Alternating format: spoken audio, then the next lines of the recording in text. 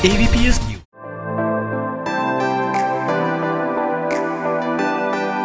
नमस्कार, आप देख रहे हैं एबीपीएस न्यूज़ मैं शिल्पी त्रिपाठी आपका स्वागत करती हूँ हमारे खास कार्यक्रम विधायक जी चले गाँव की ओर में। आज हमारे साथ हैं गोरखपुर से भाजपा विधायक शीतल पांडे जी, जो कि अपने क्षेत्र से पहली बार विधायक हैं और पंद्रह हज़ार वोटों से जीते हैं। और इससे पहले वो अपने क्षेत्र अपने क्षेत्र गोरखपुर से विश्वविद्यालय में अध्यक्ष भी रह चुके हैं। आइए उनसे बात करते हैं गाँव के विकास को लेकर। विधायक जी, आपका बहुत बहुत स्वागत है हमारे कार्यक्रम धन्यवाद विधायक जी अ, मैं आपसे पहला प्रश्न करना चाहती हूँ कि जो आज के समय में जो किसानों की स्थिति है उसके बारे में क्या कहेंगे आप? किसी भी राष्ट्र की खुशहाली का रास्ता गाँव से होकर गुजरता है क्योंकि गाँव में किसान रहते हैं और जिनको हम भगवान का दर्जा देते हैं। किसान ही अन्न का उत्पादन करता है और हम खाद्यान्न की दृष्टि से हमको आत्मनिर्भर बनाता है। किसान ही पूरे समाज को भोजन की व्यवस्था करता है और कृषि जो हमारी आर्थिक व्यवस्था की रीढ़ है, किसान उसको खेती को मज़बूत करता है। लेकिन आज़ादी के बाद आज तक कृषि की बड़ी उपेक्षा हुई। कृषि में जो उत्पादन होता है, उसका उचित मूल्य नहीं हो पाता। जैसे किसी फैक्ट्री में जो उत्पादन होता है, उसका मूल्य तय करने के लिए सरकार उद्योगपति को बुलाती है। कपड़े में जो कपड़ा उत्पादन, उत्पादित होता है, उसका मूल्य तय करने के लिए उद्योगपति को बुलाती है। मेडिकल में दवा का जो निर्माण करते हैं उनके दाम को तय करने के लिए उद्योगपति को बुलाती है। लेकिन किसान ही एक ऐसा वर्ग है जिसके उत्पादन का उचित मूल्य तय करने के लिए किसान को कभी बुलाया नहीं जाता है। किसान का मूल्य तय करने के पहले किसान की लागत क्या है? किसान का खर, खर्चा क्या है? किसान की खेती पर कौन लोग निर्भर हैं? उसके परिवार में उसकी आर्थिक स्थिति क्या है, उसके बच्चे की पढ़ाई, बूढ़े बाप की दवाई और लड़की की शादी सब कृषि पर ही आधारित है। इसलिए भारतीय जीवन में, हमारे सामाजिक जीवन में कृषि एक महत्वपूर्ण संस्था है और आज उसको किसान गाँव में मेहनत करके फ़सल पैदा करता है। हमारे प्रधानमंत्री जी ने फस, किसानों की आमदनी को बढ़ाने के लिए फ़सल बीमा योजना चलाया। प्राकृतिक आपदा के कारण बहुत से किसानों की फ़सल बर्बाद हो जाती थी। जैसे बाढ़ है, सूखा है, ओला है, हैवी रेन है, उसके वजह से फ़सल बर्बाद हो जाती थी। प्रधानमंत्री ने फ़सल बीमा योजना चला करके कि उन किसानों को लाभ पहुँचाया है। कृषि, कृषकों की आय को दुगना करने के लिए उन्होंने बहुत से कृषि में उपाय किए हैं और कृषि यंत्रों को छूट दिया है, किसानों को विशेष छूट दिया है। कृषि के साथ जो रसायन हैं, जो दवाएँ हैं, उन पर भी छूट दिया है। तो कहने का मतलब है कि खेती को हमारे प्रधानमंत्री नरेंद्र मोदी और उत्तर प्रदेश की सरकार भी किसानों का जो कर्जा, एक लाख रुपए तक का कर्जा माफ़ कर दिया, ताकि उनकी आर्थिक स्थिति में सुधार हो। इसलिए हम किसान और कृषि को बहुत महत्वपूर्ण समझते हैं।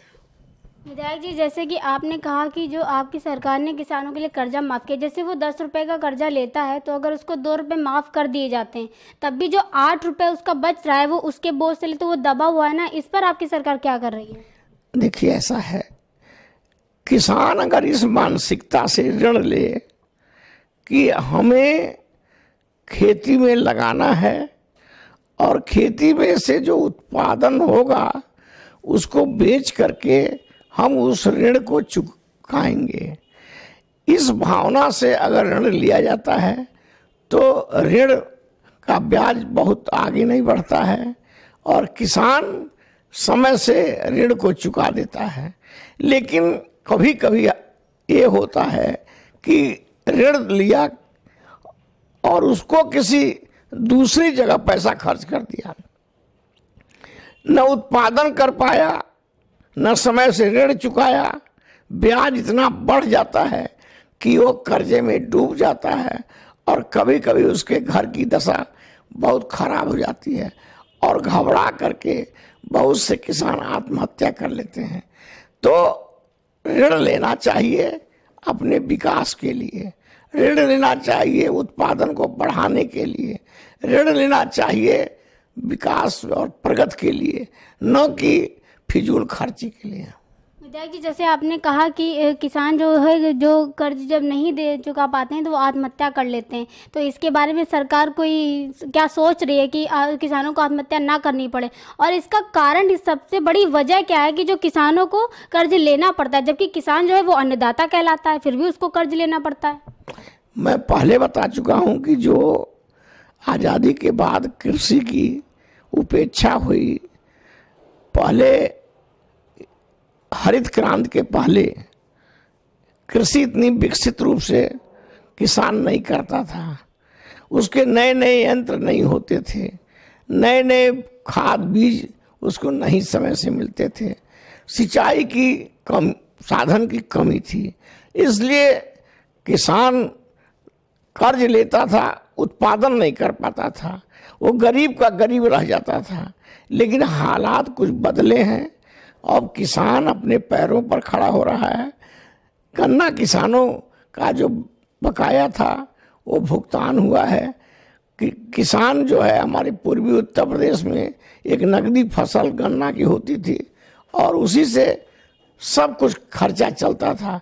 लेकिन आज जो है गन्ना का पिछ, बहुत पिछले कई सालों में भुगतान नहीं हुआ जिससे किसान गन्ने की बुआई ही कम कर दिया। कहने का मतलब ये है कि किसान को समय के अनुसार अपने उत्पादन को बढ़ाना होगा, अपनी आमदनी को बढ़ाना होगा और सरकार को भी जिस तरह से उद्योगों पर सब्सिडी मिलती है या अन्य चीज़ों पर सब्सिडी मिलती है, किसानों को विशेष रूप से पैकेज देना चाहिए। जो कि आपने ये बात कही कि किसान की पैदावार बढ़ानी चाहिए। तो जो किसान है, वो अपने खेत में दिन रात काम करता है, पसीना बहाता है, फिर भी जो उसकी फ़सल का जो मूल है, वो उसको नहीं मिल पाता है। इसका कारण क्या है? नहीं, जैसे इस साल जो समर्थन मूल, धान का मिला है, गेहूँ का मिला है, सत्रह सौ पचास रुपया। गेहूँ का पिछली बार पंद्रह सौ मिला। तो सरकार अब एक कोशिश कर रही है कि किसानों के उत्पादन का उचित मूल्य मिले। और अगर कोई कमी रह गई है तो और सुधार होना चाहिए। जी विधायक जी जो ये कृषि विज्ञान केंद्र जो लगाए गए हैं गाँव में उसमें मिट्टी की जाँच का प्रावधान है लेकिन क्या किसानों को इस बात के लिए जागरूक किया गया है कि वो उसमें अपने खेत की मिट्टी की जाँच कराएँ? देखिए जगह जगह किसान मेला का आयोजन किया गया है। उसमें कृषि विशेषज्ञों को, वैज्ञानिकों को उसमें बुलाया गया है। वे उस पर व्याख्यान देते हैं कि कैसे उन्नतशील खेती किया जाए। तो आजकल प्रयास, जो विज्ञान केंद्र हैं, उनके माध्यम से किसानों को नई नई जानकारियाँ दी जा रही हैं और उपयोगी वो सिद्ध हो रहे हैं और कृषि के जो अधिकारी हैं वो जगह जगह मेला लगवा रहे हैं किसानों का और किसान को कोशिश कर रहे हैं कि इनको जागरूक किया जाए इनको नई नई जानकारियाँ दिया जाए और इनको आगे बढ़ाया जाए। मतलब किसानों के लिए बहुत कुछ किया जा रहा है। जी। विधायक जी जैसे ग्राम पंचायत आपके हिसाब से क्या मायने रखती है? जो एक गांधी जी ने चौखम्बा राज की कल्पना किया था जिसमें एक राष्ट्र इकाई होती है, एक प्रदेश इकाई होती है, एक ज़िले की इकाई होती है और एक गाँव इकाई होती है।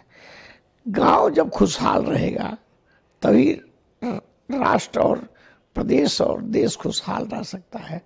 तो गाँव की दशा कैसे सुधारी जाए? ये पंचायत के लोगों में दृष्टिकोण अपनाना चाहिए। गाँव आज आज़ादी के बाद उपेक्षित हैं। उनमें बुनियादी सुविधाएँ नहीं थी। पानी पीने का शुद्ध पानी नहीं था। सड़क नहीं थी।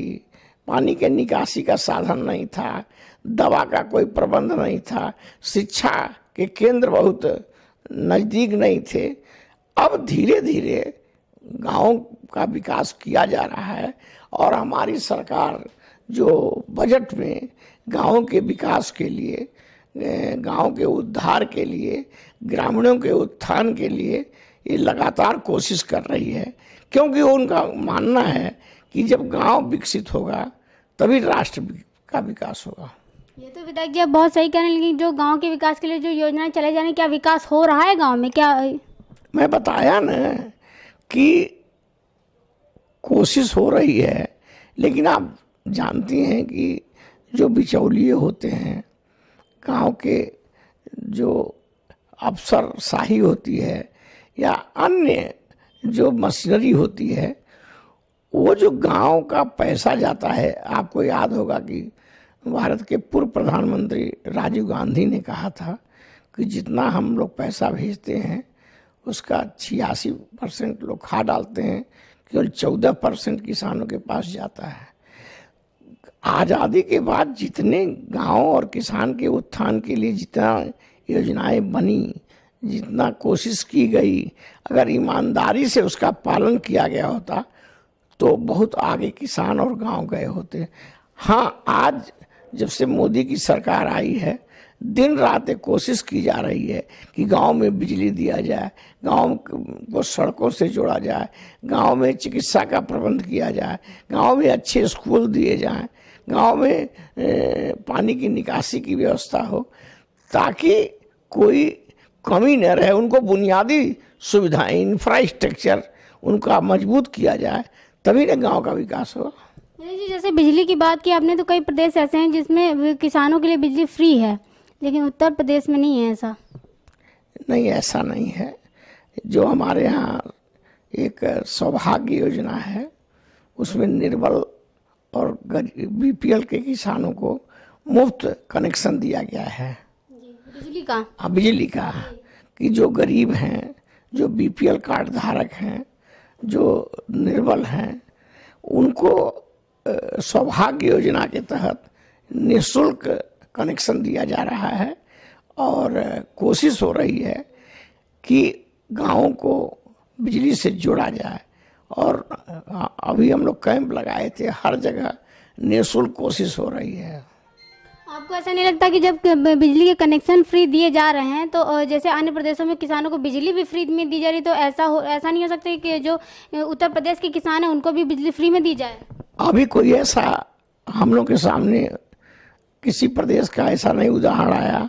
एमपी में किसानों को बिजली फ्री दी जा रही है। बिजली का कनेक्शन फ्री लग रहा होगा। पूरी बिजली नहीं फ्री दी जा रही होगी। आप पता लगा लें बिजली का कनेक्शन देना और पूरी बिजली का खर्चा माफ़ कर देना दोनों में अंतर है। जैसे हमारे यहाँ जो गरीब लड़के लड़कियाँ हैं उनको निःशुल्क शिक्षा दी जाती है तो वो ट्यूशन फ़ीस माफ़ होती है। न कि जो एक्स्ट्रा चार्जेस लगते हैं वो माफ़ होते हैं। और जैसे कि आपने पानी की व्यवस्था की बात की तो अभी भी गाँव में कहाँ कहाँ पे ऐसी जगह है जहाँ पे पानी की व्यवस्था हो गई है?